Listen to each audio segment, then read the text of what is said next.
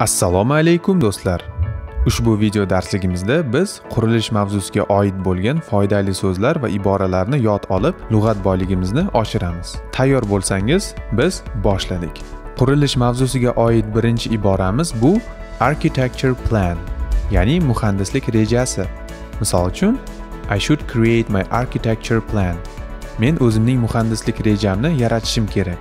Navbatdagi so'zimiz bu sement o'zbek tiliga sement deb tarjima qilinadi. Misol keltiramiz. The appearance of the cement is powdery. Sementning ko'rinishi kukunsimon. Keyingi qurilish materiali bu concrete. Concrete o'zbek tilida beton degan ma'noni beradi. Misol uchun concrete is very strong. Beton juda qattiq. Navbatdagi buyum bu measure tape. Measure tape o'zbek tilida o'lchov lentasi deb tarjima qilinadi. Misol keltiramiz. The measure tape measures accurately. O'lchov lentasi aniq o'lchaydi. Keyingi anjom bu screwdriver. Screwdriver xalq tilida отвертка deyiladi. Misol keltirib o'tamiz you can do a lot with a screwdriver. Отверtka bilan ko'p ish qilsa bo'ladi. Navbatdagi instrument bu saw. Sawning o'zbek tilidagi tarjimasi bu arra. Misol uchun i bought a sharp saw. Men o'tkir arra sotib oldim. Keyingi asbobimiz arraning zamonaviy ko'rinishida bo'lib u chainsaw deyiladi ya'ni zanjirli arra yoki benzoarra.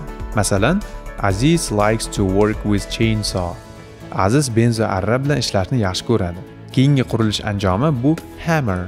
Hammer o'zbek tilida bolg'a deb tarjima qilinadi. Misol keltiramiz the hammer is a friend of the nail.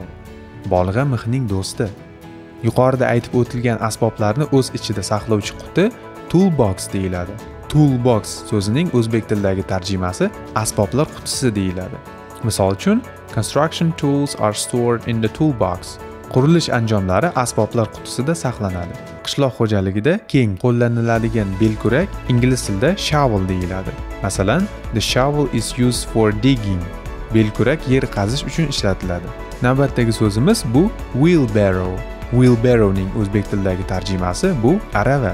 Misol keltiramiz the wheelbarrow makes the job easier. Arava ishni osonlashtiradi. Do'stlar umid qilamizki darsligimiz sizlar uchun foydali bo'ldi.